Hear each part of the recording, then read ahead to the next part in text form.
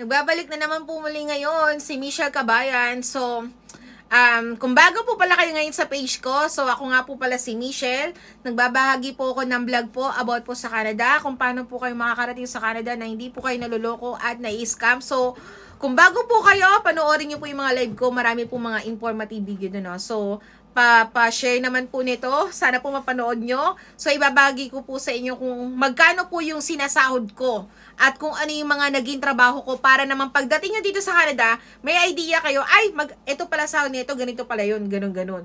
So, ayun na nga, no. So, noong unang dumating pala ako sa Canada, ang kumuha sa akin na employer ay si Tim Horton. So, way back 2011 or 12, ang uh, ang minimum noon, ang minimum na sa Saskatchewan noon, Actually, it's 11.25. Uh, I, I don't know if it's 11.50 or 11.25. So, 11.25 ata, no? So, yun nga lang, ano, pag nagtataas yun, di ba, the more na nagtatagal, nag, nagtatagal ka, syempre, nagtataas din. Pero, huwag mo i-expect na masyadong mataas ang pagtaas dahil ang binibigay lang ni employer, 5 cents, 10 cents. So, iba-iba pa rin ano, hindi natin masasabi. Ayun nga, nagtagal ako sa, sa employer ko mula 2012 hanggang 2015. And actually, si Tim Hortons ang nagbigay sa akin ng permanent resident. So, yun ang naging ano ko, yun ang una kong trabaho. At ayun ang per rate ko, 11.25. Tapos nagtataas lang, mga 10 cents, 25 cents, mga ganun-ganun lang. Tapos, nung na-PR ako, ang naging trabaho ko pa, nagtrabaho ako sa Sobeys. Yung Sobeys, um, doon ako sa a la carte. Uh, ang ginagawa ko doon, uh, alam niyo rotisserie chicken? Yun, ginagawa ko yung rotisserie chicken na yun. Nagtutuhog kami ng manok. Ang hirap din nun actually. Tapos ang per oras doon, uh, kasi ano, nasa pinaka-boundary ako ng province eh, ng dalawang province, ng Saskatchewan and Alberta. Nasa Lloydminster ako. So, doon ako nagtrabaho sa Alberta ang binibigay na minimum doon, it's $15.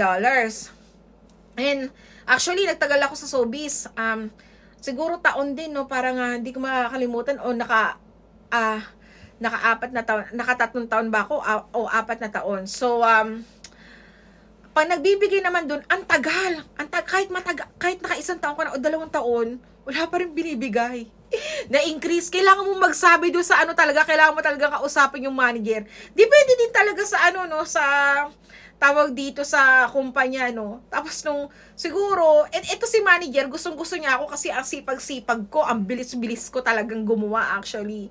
Ma, ma, ma ano ako kumilos eh, yung masigasig akong kumilos eh. Tsaka mabilis ako maka-pick up Di kinausap niya ako, kinukuha niya akong full time. Sabi ko, ayoko, hindi mo ako tinataasan eh. So, binigyan niya ako ng 50 cents na increase. 50 cents lang, no, sa tagal, ano. Pero, nagpapasalamat ako, binigyan niya ako, di ba? Thankful pa rin ako. Pero, yun nga, no, um, hindi, hindi na ako nagtagal kasi ako lang yung masipag na pumapasok. Ako lang yung masipag na nagtutuhog ng manok. Tapos nilalagay ko sa pagkainit-init. Grabe, init-init talaga nun. Hindi ko makalimutan. Nililinis ko, ninahabol ko yung oras. Natanggal ko yung mga dumi-dumi dun. Ay, ang, ang sobrang init no sa mukha actually. Ang hirap din ng trabaho ko dun.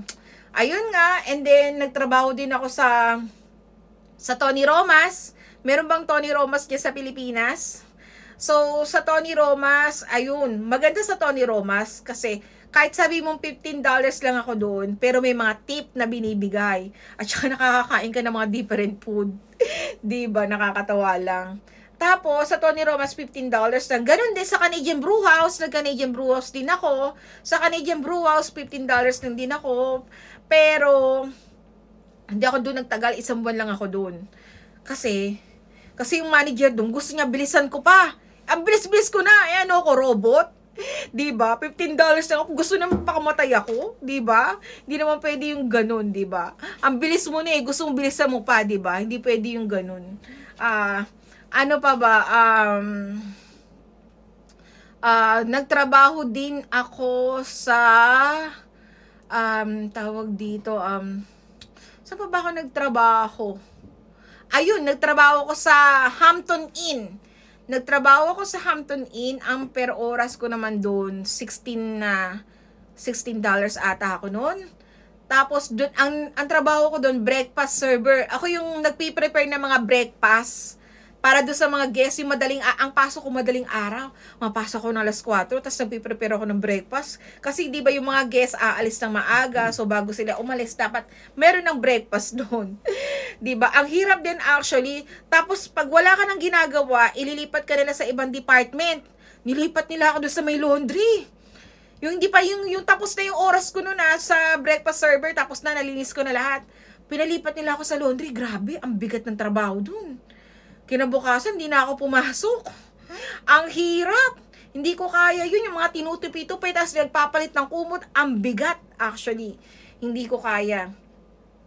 Tapos, ayun, nag-BP share ako. Sa BP share, yung care aid din, di ba? Pero ano naman to, ah, uh, yung mga support worker, ganon.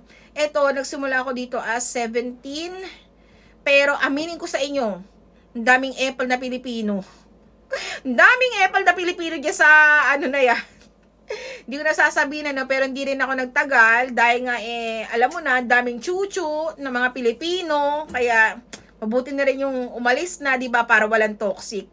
Tapos, eto, dito na ako sa 7-Eleven, ito, dito ako nag-grow, um, dito ko, ito, ito mas mahal ko tong trabaho ko tong actually, mahal ko tong 7-Eleven, kasi, uh, dito ako nag-grow eh, as in dito ako nag-grow, at saka dito, taon-taon, tumataas ka talaga. Walang ceiling, di ba? Maganda dito, the more na tumatagal ka, the more na tumatagal ka, the more na tumataas ang sahod mo. Tapos, ang maganda pa nito, may profit sharing sila, di ba? Para pagtanda ko, hindi ko hindi na ako mangangamba sa pag-retire ko, di ba? May pera na ako.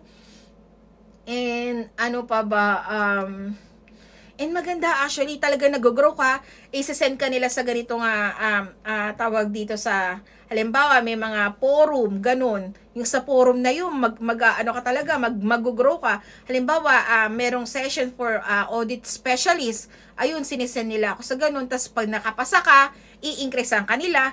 Tapos, ayun, sinend nila ako sa category manager. Pag nakapasa ka, i-increasean ka nila. Ganun ba, no? Tapos, every exam mo, kada exam mo, pag napapasa mo yung exam mo, tumataas yung sahod mo, nagbibigay sila ng increase. Yun ang kinaganda dito, kaya love na love ko to, no? Kaya nagpapasalamat talaga ako, no? Uh, nakita ko tong 7-Eleven. Sagot, alam mo ba, no, talagang lahat may plano talaga si Lord para sa iyo, eh, no? Kung minsan nagtataka ka, yung plano mo hindi na, na, na ano, na, na natutupad yung pala, meron palang mas magandang plano sa isigad, ano? So, ayan, ang mga, ang mga naging trabaho ko sa Canada. And actually, kung tatanungin mo ko kung magkano ang sahod ko 7-Eleven, mas malaki to actually. Itong pinakamalaking sahod ko talaga dito sa Canada. Uh, kung siguro kung sasabihin mo, um, pagpalagay mo ng ano, uh, pagpalagay mo na kulang-kulang isang libo kada isang oras. O, di ba? Hindi ko sasabihin nyo kung magkano, okay? So, yun, ganun, di ba? Sa mo kikitain yun. Dito ka lang yung kikitain, actually. Tapos, hindi na ako nagpa-part-time. Um, uh, dito na lang, dito na lang actually sa ano sa sa vlogging. Ito na lang ang part-time ko actually. Ayan, 'di ba? Sana po meron kayo natutunan sa vlog ko ngayon ano. At saka Huwag kayong mawawala ng pag-asa pa nag-apply kayo sa abroad ha. Try and try until you succeed. At saka lagi ko sinasabi sa inyo, lagi niyo pong sasamahan ng dasal. Kasi sa Panginoon, walang imposible sa Panginoong Jesus. 'Di ba? So sana po kabayan nakatulong po to sa mga nangangarap mag-Canada at sana magkaroon kayo ng idea, 'di ba? Kasi alam niyo ba, ang pagka-Canada hindi ganun kadali. Mahirap, dadaan talaga tayo sa butas ng karayom. So, sa kabayan, salamat po muli sa lahat po ng suporta and bye-bye!